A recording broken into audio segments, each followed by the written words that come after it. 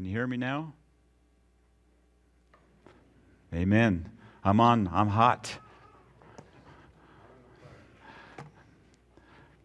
There's a lot of heat up here.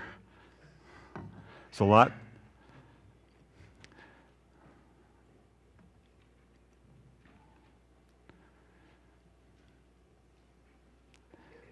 There's a preacher who was teaching on temperance, and he got to the end of his message and he started getting excited.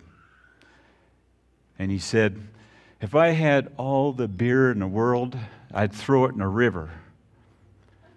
And he started getting some amens. And he said, If I had all the wine in the world, I'd throw it in the river. And he started getting claps. And he got excited. And he said, If I had all the whiskey in the world, I'd throw it in the river. And he went and sat down. Then the song leader comes up and he says, We're going to close with a hymn, Shall We Gather at the River?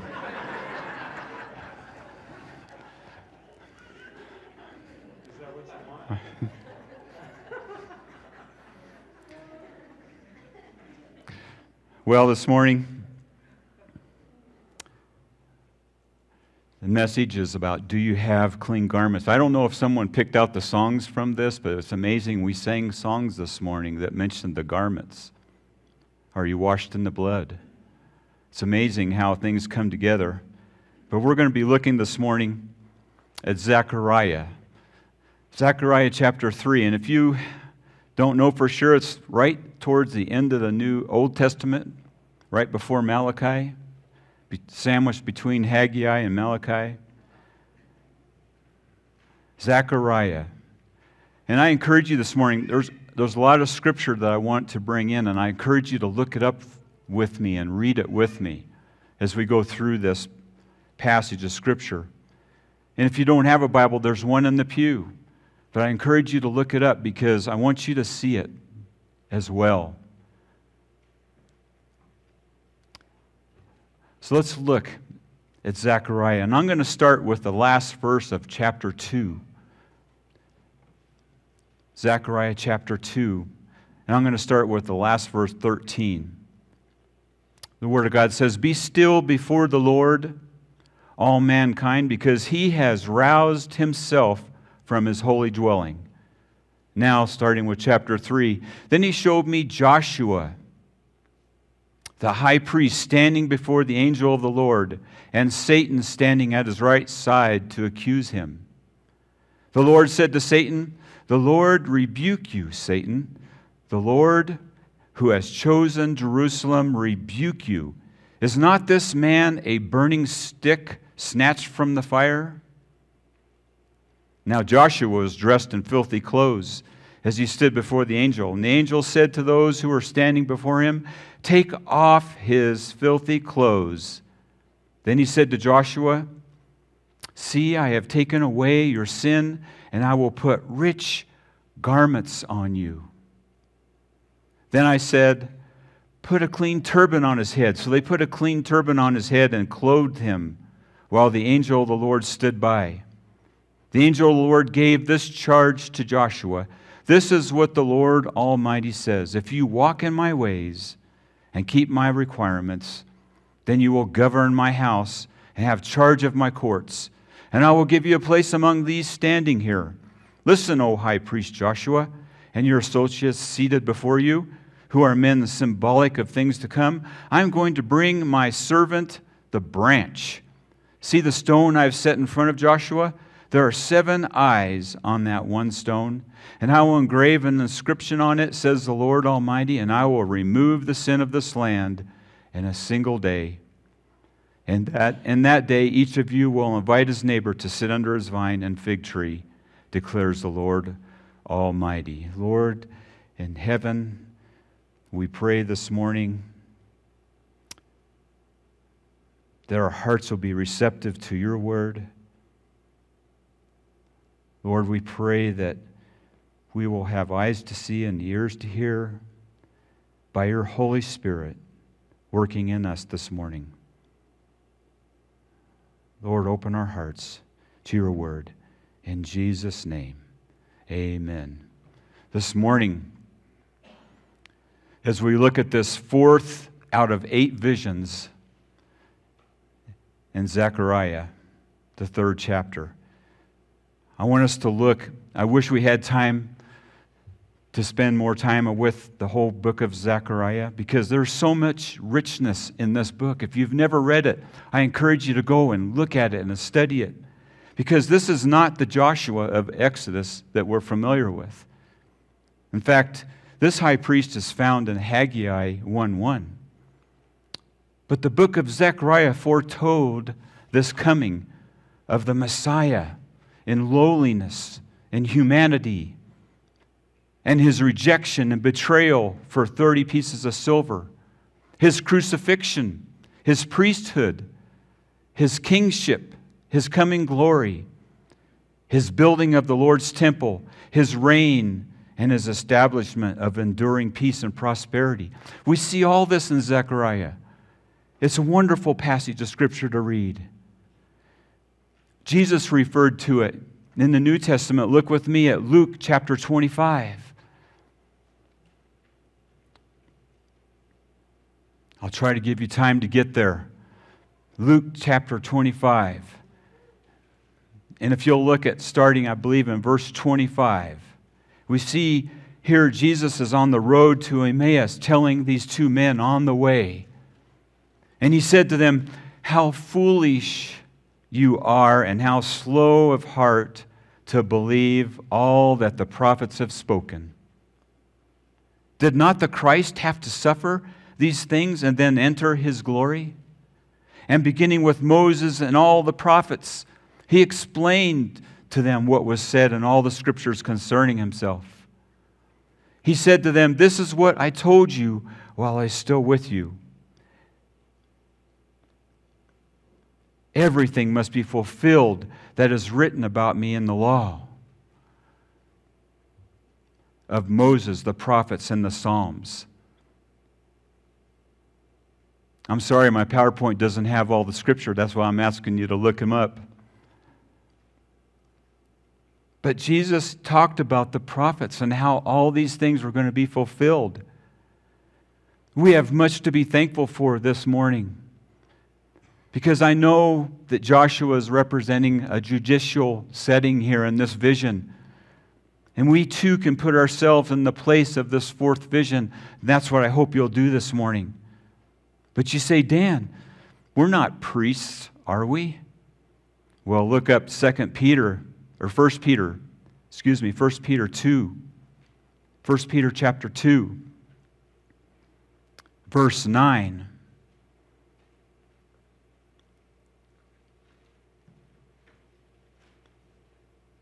But you are a chosen people, a royal priesthood, a holy nation, a people belonging to God, that you may declare the praises of him who called you out of darkness into his wonderful light.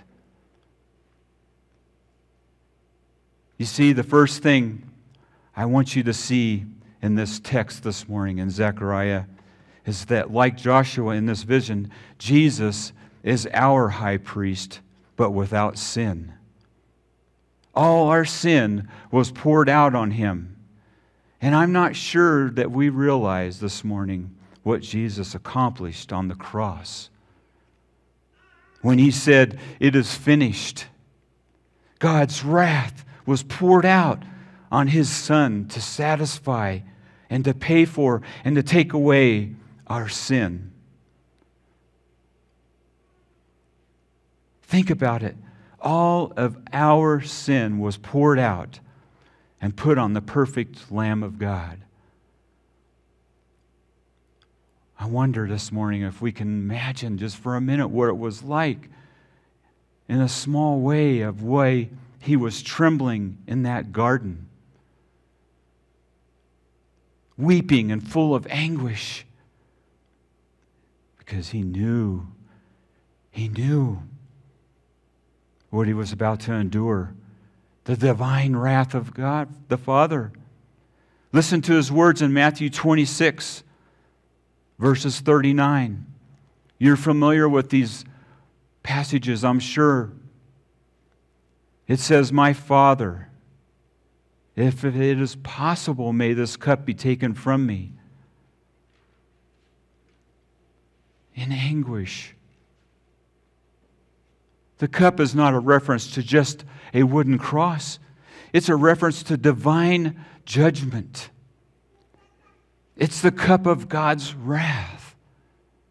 All God's holy wrath and hatred towards sin and sinners, stored up since the beginning of creation of the world, is about to be poured out on him. And that is why he sweat blood at the thought of it. The thought of God the Father turning away because he could not bear to see your sin and my sin on his son. I hear Christians sometimes say that they're lonely. And I think about Jesus. He experienced the loneliness at the deepest level when he was on the cross because his father turned his back. You want to experience loneliness. That's loneliness. The second thing this morning I want you to see in this vision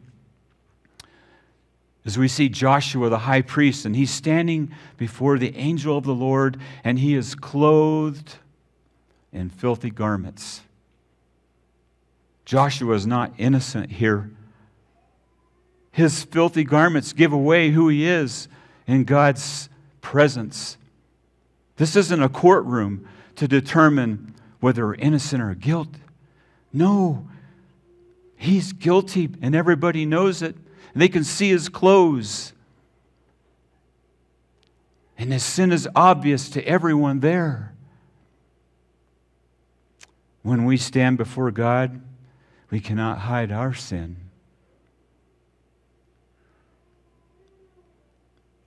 Unless you're a child of the King. Hebrews 4, verses 12 and 13. We're all familiar with these scriptures. For the Word of God is living and active and sharper than any double edged sword. It penetrates to dividing soul and spirit, joints and marrow. It judges the thoughts of the heart. And there is no creature hidden from God's sight. But all things are open and laid bare to the eyes of Him to whom we must give an account. Everyone will stand before God and give an account. Only Jesus can take away our sin. There's no hiding our sin from Him. Sure, we can hide it from one another. But he knows our heart, He knows where we're at. You have a big problem this morning if you go before God on your own merit. You see, we know all about John 3:16. We hear it quoted all over. Even in the world we see it. See it at games where they hold up John 3:16. But we don't see very many people hold up John 3:39. John 3:39. Whoever believes in the Son has eternal life, but whoever rejects the Son will not see life, for God's wrath remains on him. Look at with me in Revelation. Let's look at another courtroom. Revelation chapter 20. See, you don't want to find yourself here. Because if you die without Christ, this is where you're going to be in Revelation chapter 20, starting with verse 11. It says, And I saw a great white throne, and him who sat upon it, from whose presence earth and heaven fled away. And no place was found for them. And I saw the dead, the great and the small, standing before the throne. And books were opened, and another book was opened, which is the book of life. And the dead were judged from the things which were written in the books according to their deeds. And the sea gave up the dead which were in it, and death and Hades gave up the dead which were in them. And they were judged, every one of them, according to their deeds. And death and Hades were thrown into the lake of fire. This is the second death, the lake of fire. And if anyone's name was not found written in the book of life, he was thrown into the lake of fire. Look back at Matthew chapter 25. Matthew chapter 25.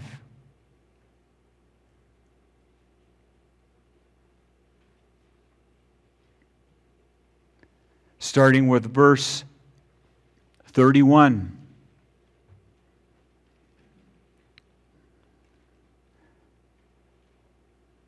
But when the Son of Man comes in his glory and all the angels with him, then he will sit on his glorious throne. And all the nations will be gathered before him, and he will separate them one from another, as the shepherd separates the sheep from the goats. And he will put the sheep on his right and the goats on his left. Then the king will say to those on his right, Come, you who are blessed of my Father inherit the kingdom prepared for you from the foundation of the world. Now move forward just a little bit farther to verse 41. Matthew 25. Then he will also say to those on his left, Depart from me, accursed ones, into the eternal fire which has been prepared for the devil and his angels. Man, I want to tell you this morning that you don't have to suffer God's wrath because He came to rescue us from our sin.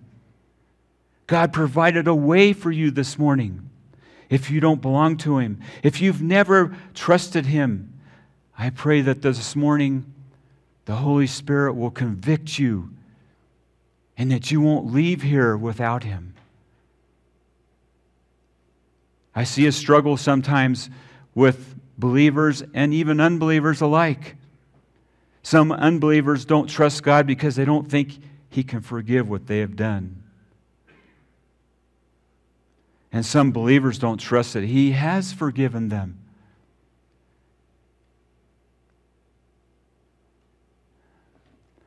Oh, here's another passage we need to look at. If you'll look with me at Luke Go to Luke chapter 16. This might be the most gut wrenching passage, especially if you're not a believer in Christ. Luke chapter 16.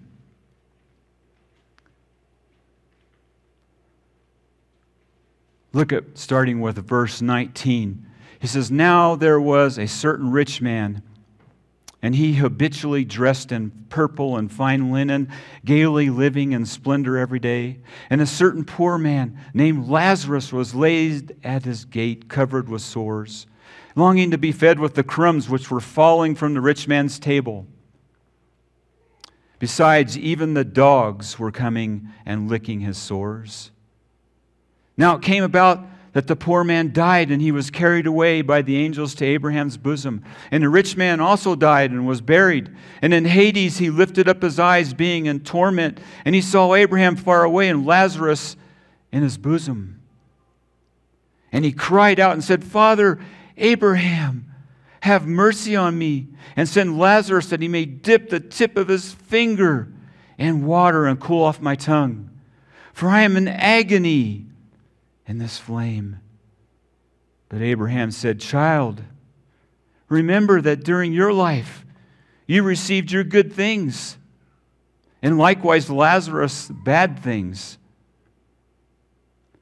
But now he is being comforted here, and you are in agony.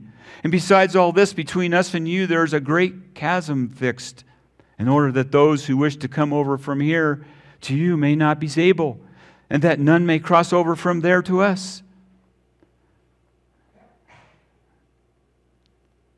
This may be the greatest message from a non Christian. As we read on, he, he said, Then I beg you, Father, that you send him to my father's house. For I have five brothers, that he may warn them, lest they also come to this place of torment. But Abraham said, They have Moses and the prophets, let them hear them. But he said, No, Father Abraham, but if someone goes to them from the dead, they will repent. But he said to him, If they do not listen to Moses and the prophets, neither will they be persuaded if someone even rises from the dead. Oh, folks, this is a parable Jesus told. But there's truth in this because hell is a real place. Jesus talked about hell more than anyone else in the scripture. Why did he tell us about it? Because he doesn't want us to go there. His mercy is reaching out to us saying, Don't. I wonder if that rich man could talk to us this morning. I wonder what he would say. I think he'd say, Don't come here.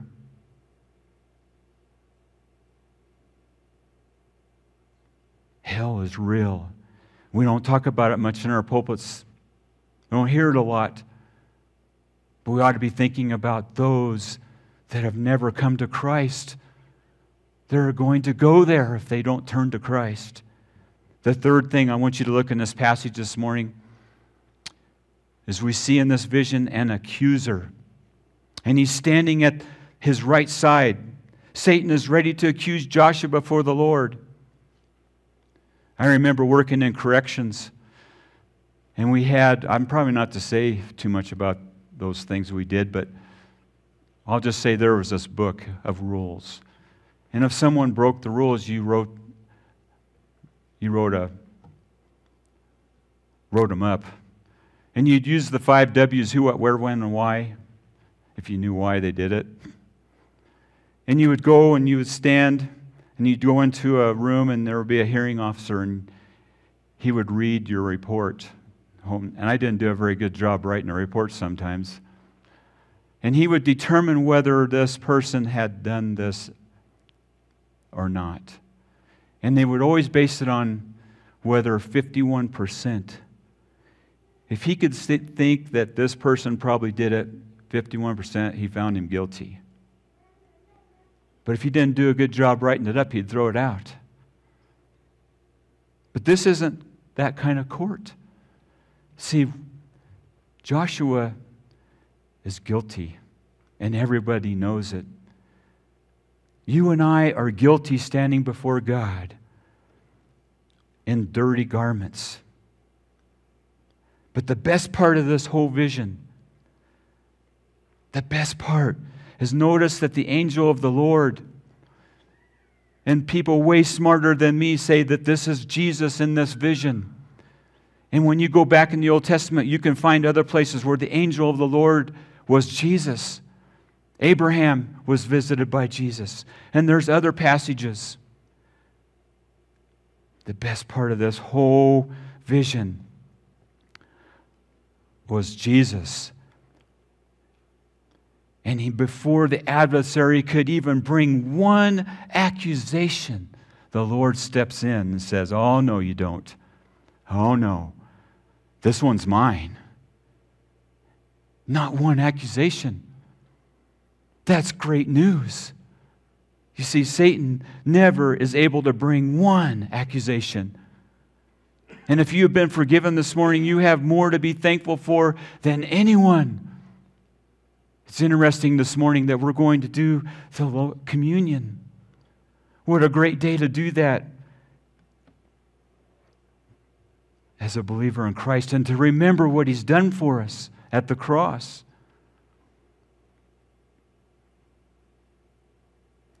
Satan, who is a hater of our soul, who stands against us in spiritual battle, he can't bring one accusation against you because the Lord steps in on our behalf. Not just our behalf, but our, our place. Look at another passage with me in Revelation. Let's go to Revelation chapter 12. Notice that he says, The Lord rebuke you, Satan. There's going to come a day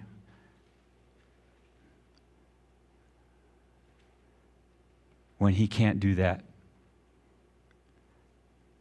starting with verse 9. Look at Revelation 12 9. And the great dragon was thrown down, the serpent of old, who is called the devil and Satan, who deceives the whole world. He was thrown down to the earth, and the angels were thrown down with him. And his angels were thrown down with him. And I heard a loud voice in heaven saying, Now the salvation and the power and the kingdom of our God and the authority of his Christ have come. For the accuser of our brethren has been thrown down, who accuses them before God day and night. And they overcome him because of the blood of the Lamb and because of the word of their testimony. And they did not love their life even to death. Folks, Satan, until God casts him out, he's accusing day and night. Notice in this text this morning in Zechariah that the Satan is about to point to Joshua's clothes, his filthy garments, which point to his sinful condition that everybody can see. Folks, God sees all our sin.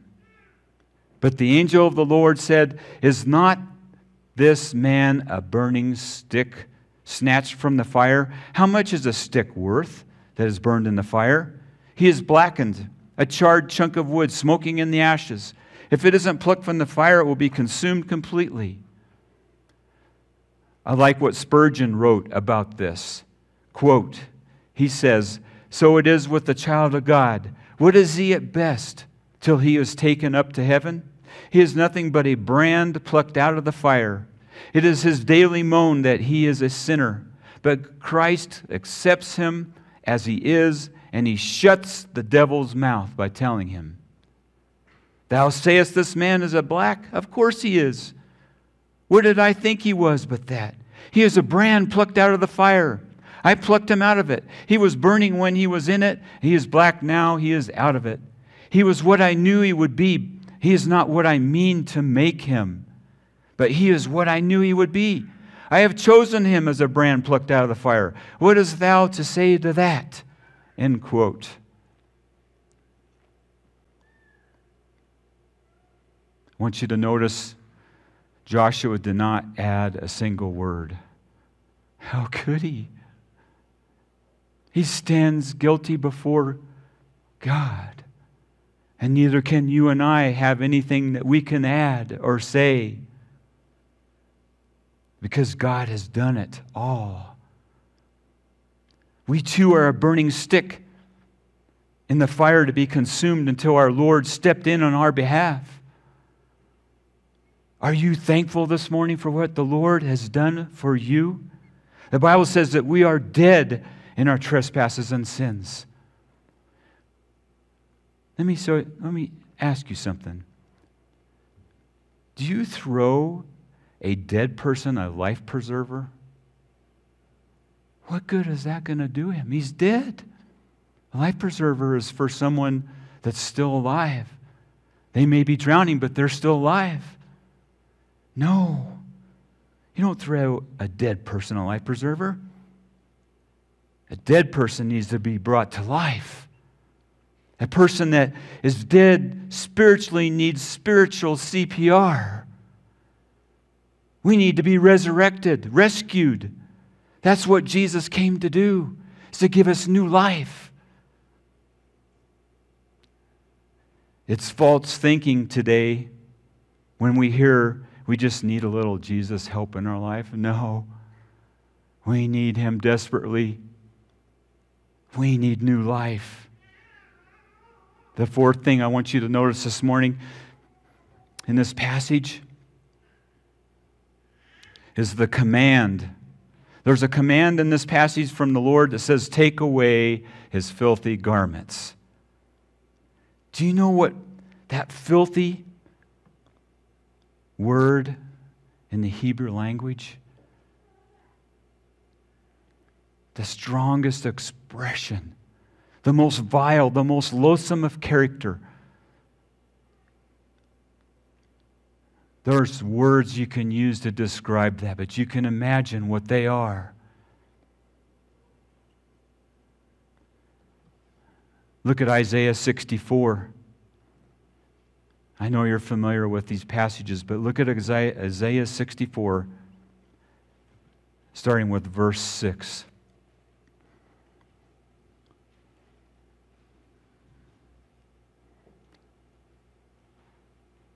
For all of us have become like one who is unclean, and all our righteous deeds are like filthy garment. Filthy. And all of us wither like a leaf, and our iniquities, like the wind, take us away. Folks, that's the best you can do with your righteousness is to be in filthy rags. That's the best we can do. Filthy rags. But the Lord says, See, I have removed your iniquity from you, and I will clothe you with rich robes. Wow. That's a good trade. Filthy rags for rich robes. What kind of clothes do you think God will dress you with? Do you think it's going to be some like cheap department store brand? There's nothing cheap anymore, is there? You Go to Kohl's and you go, wow, I can't afford this. But every time you wash that cloth, and every time you wear it, what happens? It starts fading. And sometimes they'll start ripping. They don't last. But these garments, they're going to last. I don't think so. They're going to last forever. The best clothes you have ever known. You're going to look good in these new duds. Amen? They're going to be comfortable. They're going to wear, they're going to fit you. Just think for a minute about being clothed by God. Wrap your brain around that one. Now, there's clothes that we need to wear until that time when we'll be freed from our old self. In Ephesians, it tells us to put on the full armor of God. Why does it tell us to do that? Because we're at war. There's an enemy, and he's firing fiery arrows at us, trying to make us fall. That's the kind of clothes we need on right now. The fifth thing this morning I want you to notice is the admonishment from, jo- to, from a promise to Joshua. See, there's a condition in this scripture. Joshua's future service to God. Notice that the Lord tells Joshua that if you walk in my ways and if you will keep my command, then you will you shall also judge my house, and likewise have charge of my courts. I will give you places to walk among these who stand here. Look at the similarity of the other Joshua we're so familiar with. The Joshua that was with Moses that took them into the promised land. Joshua 1 7, be strong and very courageous. Be careful to obey all the law my servant Moses gave you. Do not turn from it to the right or to the left, that you may be successful wherever you go. Now, we can misquote that verse because, see, a lot of times we take verses and we say, oh, well, that means I can have a guaranteed trouble free life. That's not what the scripture says at all. You see, we look at this and we think, do we just obey some of these? Is obedience optional? With God? I read a book by David Platt. It was called Radical. And he wrote this in here. I quote it from him. We take Jesus' command in Matthew 28 to make disciples of all nations, and we say well, that means other people. But we look at Jesus' command in Matthew 11 28 Come to me, all you who are weary and burdened, and I will give you rest. And we say, Now that means me.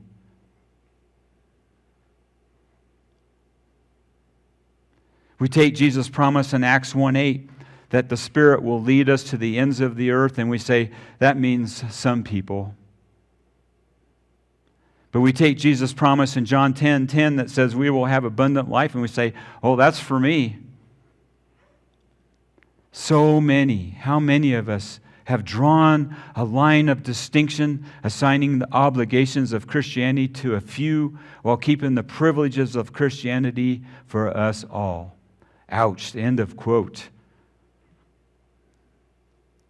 Is our obedience to God optional?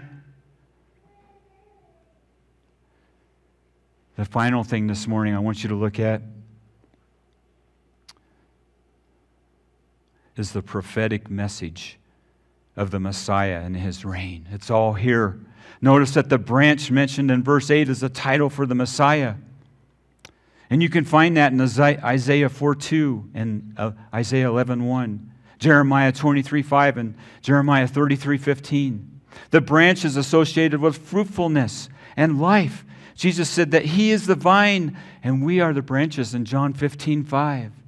We see the stone mentioned in verse 9, and upon the stone are seven eyes. The eyes represent knowledge because we learn more through our eyes than any other way.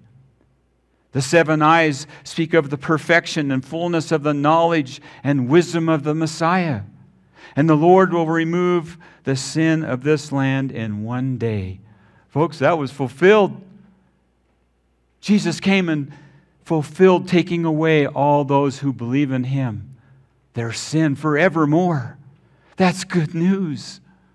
We have so much to be thankful for. And the last one mentioned in Zechariah, the peace that the Messiah will bring is in verse 10 when everyone will invite his neighbor under his vine and under his fig tree, when we are washed and have new garments, we'll be the Lord forever. We'll be with him forever. And our clothes aren't going to wear out. Oh, what a powerful passage of Scripture that we can put ourselves in. But do we realize that the, there's a real hell do we realize that there's people dying around us that don't know Christ?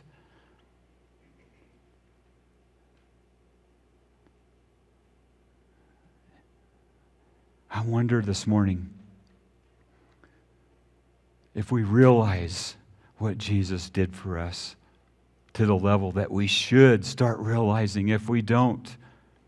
As we take of the Lord's Supper this morning, I wonder if we realize the sacrifice He made for us. And not just the sacrifice, look at this verse in Hebrews chapter 4. I promise I'm almost done. Hebrews chapter 4. We're all familiar with these passages, but what great passages they are. Starting with four, verse 14, it says, Therefore, since we have a great high priest who has gone through the heavens, Jesus, the Son of God. Let us hold firmly to the faith we profess.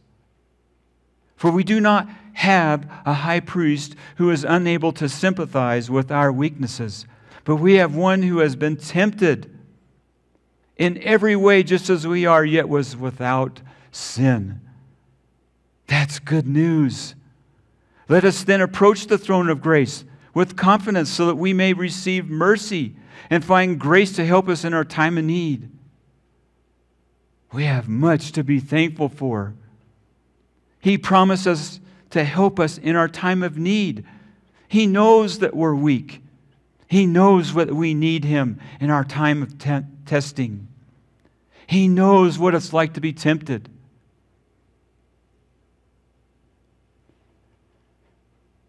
I don't know about you, but there should be a time in your life when you remember putting yourself in this vision, when you knew that you were wearing filthy rags, and you knew you were standing before God and God was convicting you of your sin, and Jesus stepped in and said, You're mine. and you confessed your sins. And you said, Lord, i am sorry for my sin, and you gave your life to Him, and He came in. And He changed your life, you're going to know. It's not just a prayer that saves you, but what happens after that? Has He been working in your life? Have you noticed Him moving in and changing your heart since you've been saved? Do you have a holy desire to please Him and to walk with Him? See, those are all evidences that God is living in your heart. But if you don't have those, you need to be sure. You need to know. And if you're not sure, this is the time to make it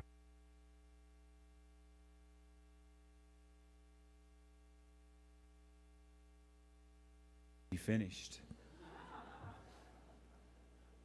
I wonder this morning as we get ready to close and we get ready to take communion.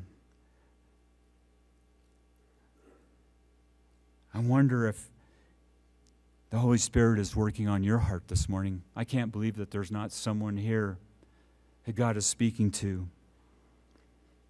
You see, you don't want to leave the same way you came. If God is speaking to your heart, you might not have another opportunity. Every time we turn around, someone is going into eternity. We don't know when it's our turn. We don't know when it's our time, but we want to be ready. Don't leave here the same way. There's warnings all over Scripture about not listening and not listening to what God's saying and not being obedient. I'm thinking of a scripture in Hebrews as well, chapter 2, verse 3. It says, How shall we escape if we neglect so great a salvation? After it was at the first spoken through the Lord, it was confirmed to us by those who heard. You see, we hear the scripture, and the Holy Spirit uses that to speak to our hearts. But there's a danger in not responding to God. In Amos chapter 8, verse 11, it says, Behold, days are coming, declares the Lord God, when I will send a famine on the land. Not a famine for bread or a thirst for water, but rather for the hearing the words of the Lord. Folks, that's devastating because if we can't hear God's word, we can't be saved this morning. I don't know what God's saying to you. All I know is that He doesn't desire that anyone perish. And I pray this morning that you'll not leave here, that you'll grab Pastor Jake this morning and say, I want to know for sure. That you won't leave here until you talk to one of the elders. Pull them aside. I want to know for sure. If God's working on your heart, respond to what He's saying to you this morning.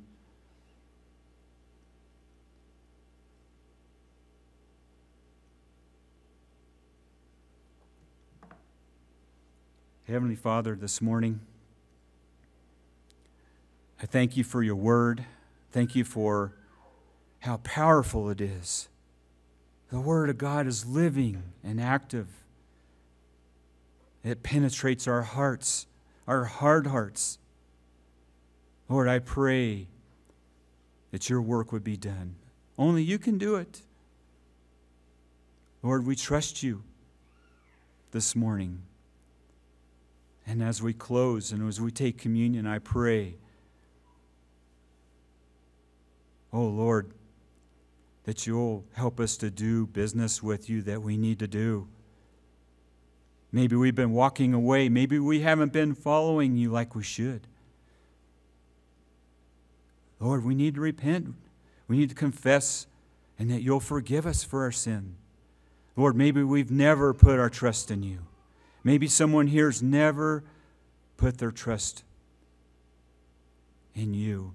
I pray this morning that, Lord, that you'll convict their heart and that they'll confess with their mouth the Lord Jesus and believe in their heart that you raised them from the dead, that you, you were raised from the dead. This morning, I pray that you would be glorified. And it's all in the name of Jesus we pray. Amen.